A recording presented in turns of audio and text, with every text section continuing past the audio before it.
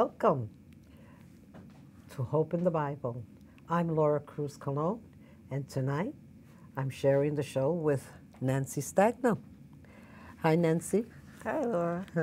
And we are from in the Trinity uh, Independent uh, uh, Church, Assembly of God Church in Mamaroneck. We're at 421 Ward Avenue, uh, right by the train station. Uh, we welcome all of you to come and join us. Uh, before we start our show today, Nancy, you're going to read off on the different ministries that we have. Mm-hmm. Yes, our ministries begin with Sunday worship, of course, uh, Sunday morning at 10. And um, we have also on Monday night a prayer meeting at 6.45. And at 7.30 we have a Bible study. We also have a second Bible study, two different teachers, one one night, one the next, of course uh, Tuesday at 7. And Wednesday night we have choir practice, except for the third Wednesday of the month, we have a, a family oriented movie. 7 nice. o'clock, mm -hmm. we have popcorn and drinks, so we invite people to come to that. The 3rd mm -hmm. Wednesday night at 7. And that's free. That's free. Uh -huh. We have a prayer line for you to call prayer requests we know how important it is to have people join together in prayer. So call us and uh, let your prayer requests known. We, we have a prayer team that's very diligent on praying. Yes. So yes. And, and the number, you know, the number to to uh, to call us is uh, I believe 914 574 uh, uh, 7068. And uh, Richie Small, Pastor Richard Smalley is the one that will answer the the prayer request line. Mm -hmm. Mm -hmm. Also, call in and share your miracles. We know God's doing miracles, and we'd like to hear about them and share them here. If you have Bible questions, also, we could help you out and try to find out the answers. Mm. We are handicapped accessible, and um, there's exciting things happening in our church. We have a women's gathering mm -hmm. upcoming in August, mm -hmm. August 21st, I believe. It's a Sunday right after church and uh, men's get together. We're going to be having a uh, barbecue on a Sunday after church, uh, July 31st. Mm -hmm. And we're working on different projects to improve our building. Yes. So come over and see what's happening in uh, Trinity Independent Assemblies of God. We welcome you. We welcome you. And we welcome you with love and open arms. Um, and come as you are. Uh, today's uh, topic uh, is a, very a close topic to both of us, and um, it's it's a, a topic that um, we hope by talking about it, it's going to help others out there that may not have someone you know to talk to about it. But it's about allowing God to help us through the process of grief and grieving from the loss of a spouse, and we both have lost our spouses. Mm -hmm. Um, and, you know, tonight we're going to start with talking about your process because everyone's process is different. Mm -hmm. Mm -hmm. But you recently lost Pastor Frank, March the 6th, to be exact. -hmm. And uh, so, you know, tell us a little bit about your process, Nancy. Okay, sure. And just before we start that, I'd just like to tell the people that it's not necessarily, you, you can relate this to any loss, not not just a spouse, spouse right? right. Mm -hmm. Or even any tragedy or mm -hmm. any mm-hmm. any hardship in your life. This pertains. Mm -hmm. You know, we're using the scriptures and our experience for loss, but it pertains to everything. God's it's God's multifunctional. oh yeah, I I, I, I, understand so. that when. Um, I had a conversation once with my sister, my older sister who lost a younger daughter, and I said to her, you, you have to understand that we're all hurting because it's it's a loss. Not it's not only about when you lose your husband. When you lose, you could lose a child, a sister, a brother, anybody that you love. Mm -hmm. So I'm starting off with Psalm 121, mm -hmm. 1 through 4, that really has spoken to me. Um, My help comes from the Lord. He watches over me. He will neither slumber nor sleep. The Lord of all creation and my guardian the one who I can put my unfaltering trust in. I get comfort, love, and assurance from mm. God. Absolutely. And I have been learning that over and over during this time of my mm -hmm. life. Mm. and I want to share that. Vividly, he's showing me this time that his love and his assurance that he's with me. Mm-hmm. And that is so vital when you have lost a loved one, especially in my case. Mm. I'm alone now. I don't have children. I, I mean, I have adult children, but Mm. you know, I'm alone, Mm-hmm. and um, I really need to know somebody's watching over me. No, My daughter gets very nervous if she, I don't answer the phone or something. She Mm-hmm. gets very nervous because she knows I'm alone, Right. and uh, you know, of course, but God is watching over me, Mm-hmm. and it's it's such an assurance that He is with me.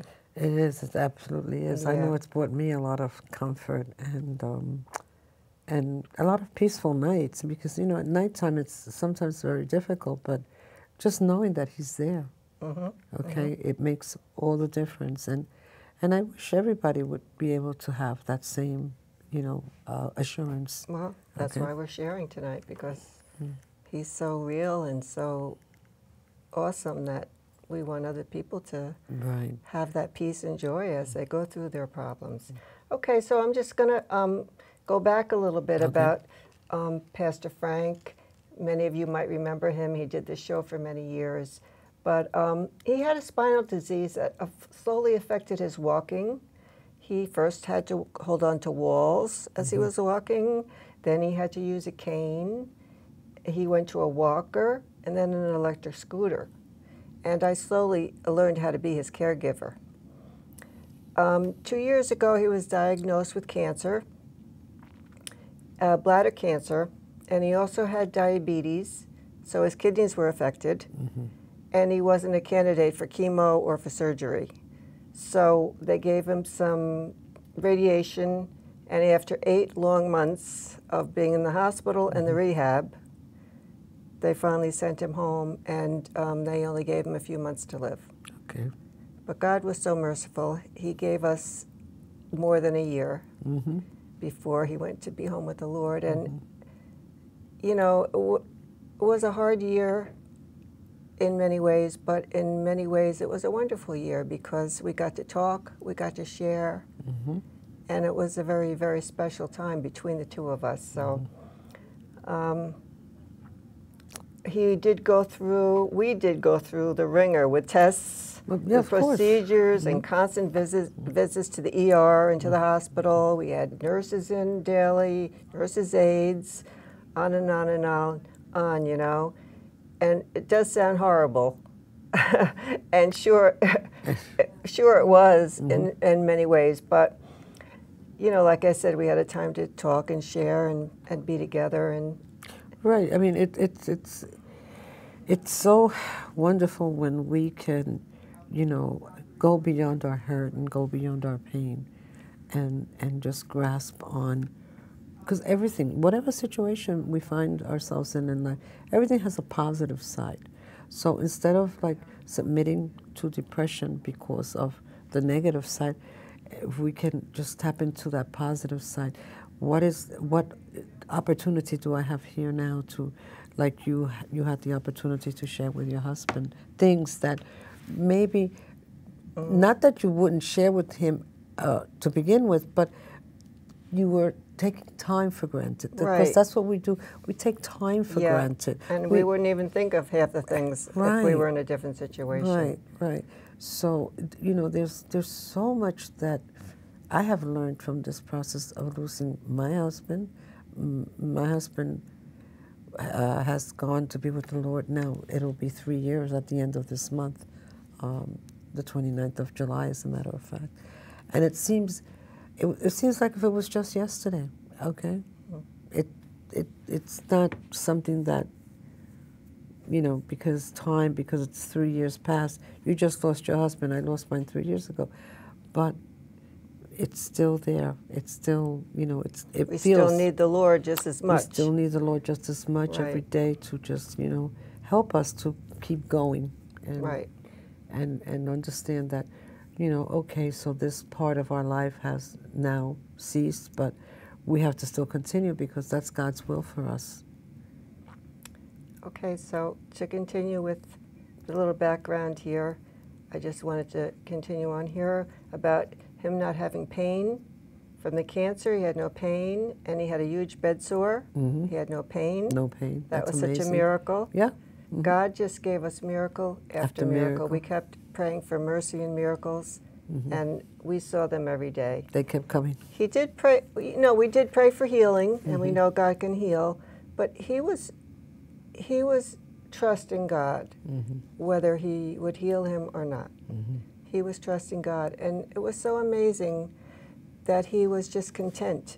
Mm-hmm. He was so happy to be home. He was so happy to be home with me, Mm-hmm. family, and friends, and he was just content. And that's such a lesson for me now Okay. to learn how to be content hmm because Oh, yeah. you know I'm sitting home alone, getting bored or getting feeling lonely. hmm I tell myself that you know I need to be content and just turn to the Lord, and He opens up doors for me that Mm-hmm. that are great. So that's something. Um, and people marveled at his upbeat attitude. Oh, yeah. I mean, people know, were just amazed Mm-hmm. because you know he was in bed. Even the, the last days. I mean, up until Oh, he yeah. went into his, you know, his Yeah. final stage. And that was all God. God was just working in us and giving us joy. hmm Because it wasn't a joyful situation, believe No, me. I, I know. But He was giving us joy. yeah, I know. So um, people were so encouraged. And uh, the love of God was just being poured out through people, hmm through situations. So many people called or sent cards or visited or just prayed. I mean, our church Yeah, we was our praying without prayer ceasing. team and, Mhm. and and most of the people would come together Monday nights and pray for like two years. Yeah. I thought, you know, it would last for a couple of weeks No. because usually people don't come and pray that often. But man, they came and they prayed. hmm And they're still doing it. I know, Mhm. but specifically for him. hmm So that was like incredible to me. I know that was God. Mm. Because, like I said, people get tired of doing certain things, and But you know, we Pastor Frank was so loved, but I know that. and I yes. and I think I don't know uh, if I uh, have the right to say this, uh, but I think that's that's one of the things that gave him joy that that that he, that he just knew not only that he he was totally assured that God loved him, but that he knew that that we his church family loved certainly him. helped. He had that certainly helped. and and we really did love him. You know. Yeah. You know. yeah, So a lot of love going on there. yeah. So um, also now, for myself, you know, as a born again Christian woman of 40 years, I have really learned the value of spending time with God. Hmm I really have a solid foundation because I've done that daily. I've read the Bible, I've prayed, I've had fellowship with other believers, I've been involved in ministry, and that has really helped me to have Develop, that yeah. solid foundation when the storms of life come. hmm You know, we can get shaken, but we're not going to get. Uh, we're not going to drown in, in those storms because God is holding us up and we trust Him. Yes. yes. We trust him because we've learned that he's trustworthy. Absolutely. And this has been, oh, such a wonderful thing for me. You know, um, I often felt like I was on a roller coaster. hmm I know Up what you and mean. down, up and Yeah. down. He's in the hospital, he's out. He's in the rehab, he's not. He's getting in a fever, he's not. Lord, Lord, when I was a, a teenager, Mm-hmm. I was afraid, I'm a scaredy type person. You're a scary cat. Right. So um, when I started dating Pastor Frank, we were we were in high school, and so um, you know we went and did fun things like going to Playland, and he wanted to go on the roller coaster. Well, I did not want to go on the roller coaster because I was so darn scared of it. But if he promised to put his arm around me mm-hmm. tight, mm-hmm. really tight, and never take it off, I said I would go on the roller coaster with him. Okay. And he did. He uh-huh. was a very strong man, mm-hmm. and so I felt secure. But God brought that to re- my remembrance in these days when I felt like I was on a roller coaster. Yeah. That Pastor Frank wasn't there to hold me tightly in that roller coaster anymore, but God was. Yeah. Mm. And Amen. and that's that was such a vivid picture to me of God's presence and love and care. It's great how He talks to us in pictures. It is. It, you know, every time that that um, that God reveals something, uh, something else to me, it's like I just got another present.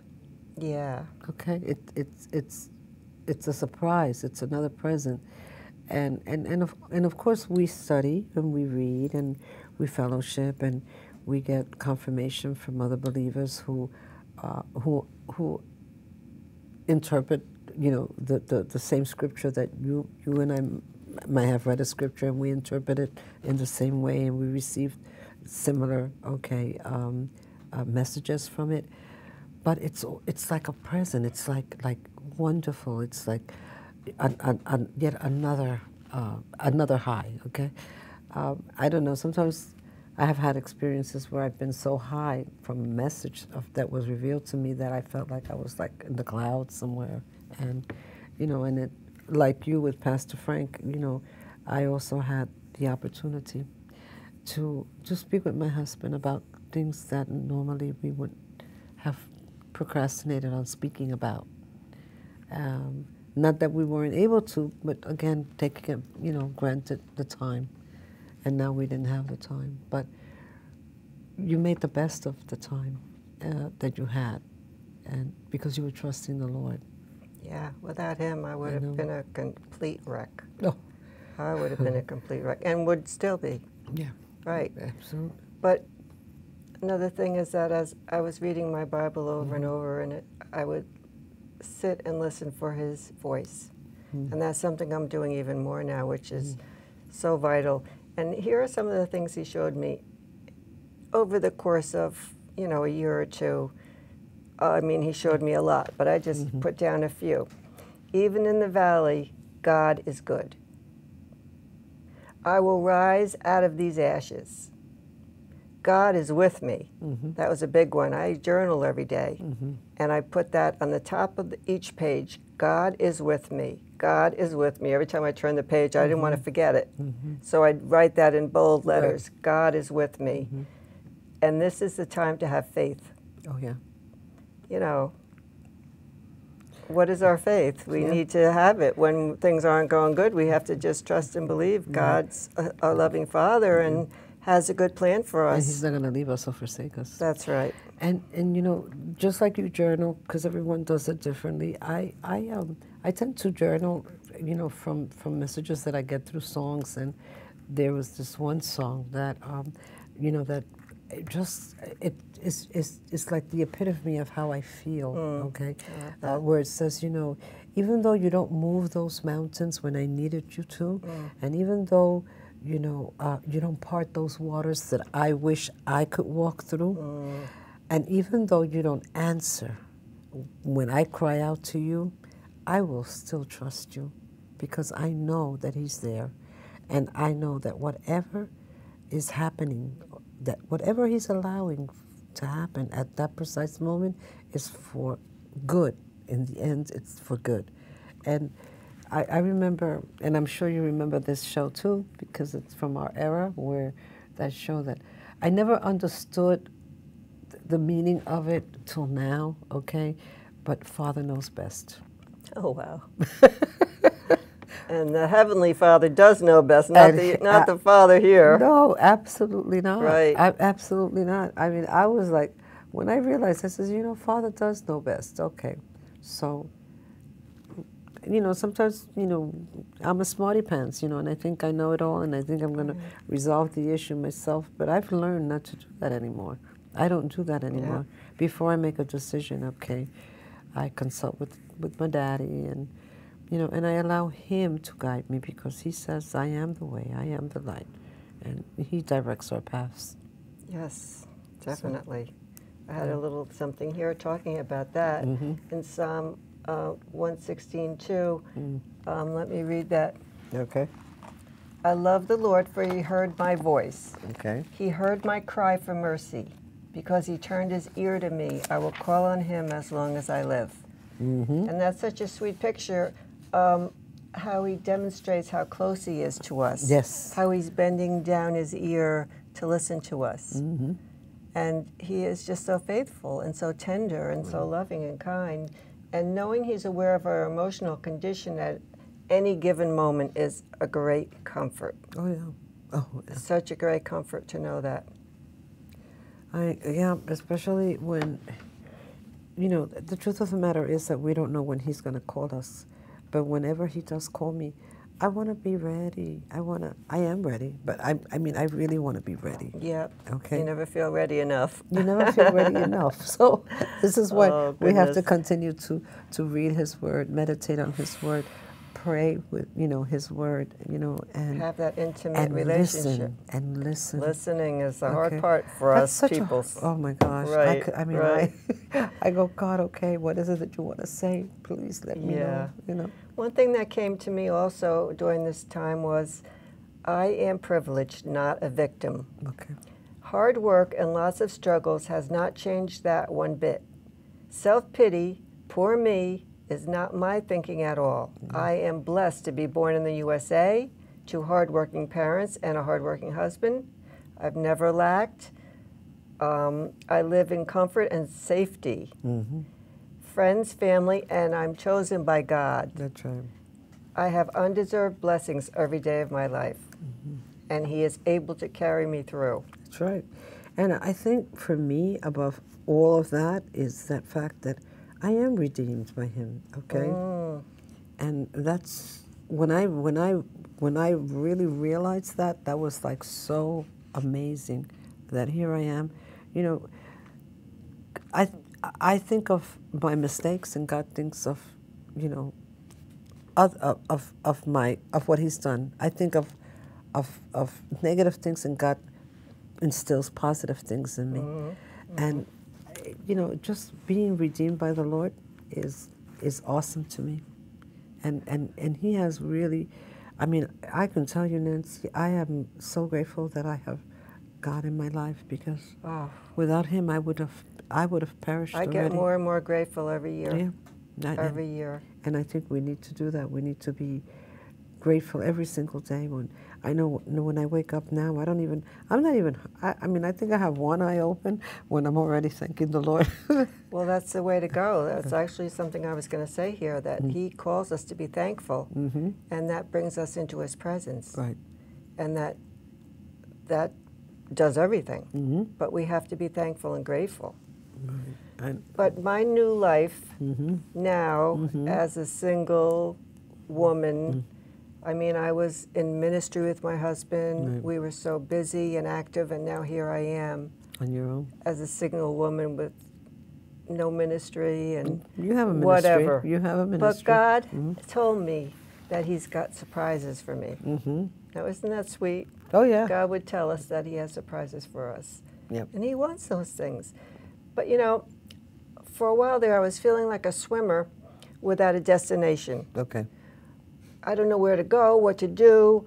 Uh, I was going in circles back Mm. and forth. I was feeling like that, you know, because Mm-hmm. of course, as a as a new widow, widow. you're going to feel so uh, at, at loose ends. But God said He has surprises for me, and He's just given me more and more. The first was my granddaughter, Mm-hmm. my second granddaughter, and she was born just at the perfect time. Frank, Pastor Frank did get to see her and I hold know. her. I know. And now I go up and I'm with them every week. Mhm. I st- stay overnight, and I say it's my little bit of heaven Yes. because I got two beautiful granddaughters. and you're blessed because. And uh, the second surprise was coming back here to LMC Mhm. TV ministry. Okay. And then I was asked to lead a women's Bible study uh, at a local church, and I'm just so happy because Oh, nothing's wow. better than to share the love of God with people and to encourage them in the Lord. Absolutely. So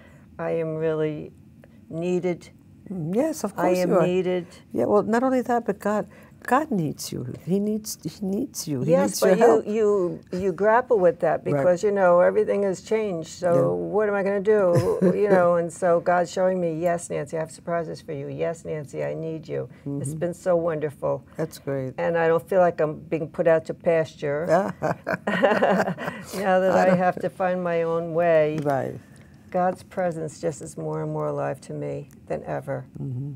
It's just, I mean, I have my ups and downs, but God keeps telling me, This focus on Him. Don't focus on the agony. No. Focus on Him. I mean, the agony is, you know, if if if I'm correct, God- tells us that you know, you know, Ecclesiastes, okay, is the book that um, I don't I don't I, I don't know. I don't. I don't visit it as much as I do the Psalms. Okay, but I do know that in Ecclesiastics it tells us that you know there is a time to be born. There is a time to die.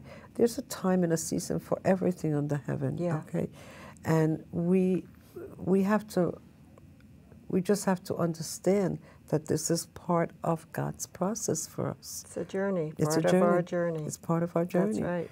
And you know, and I'm a I'm a swimmer. I love to swim. Okay, and if anything, I've learned early on. Okay, um, as I developed in my swimming. Okay, li- life, whatever.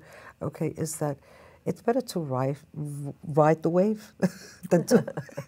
Fight against it? Oh no, that's not. I fun. mean, it's better to ride with the wave. You Yeah. know? So yeah, it, it it's it's a process that we have to go through. It's Right. not always, you know, there's going to be.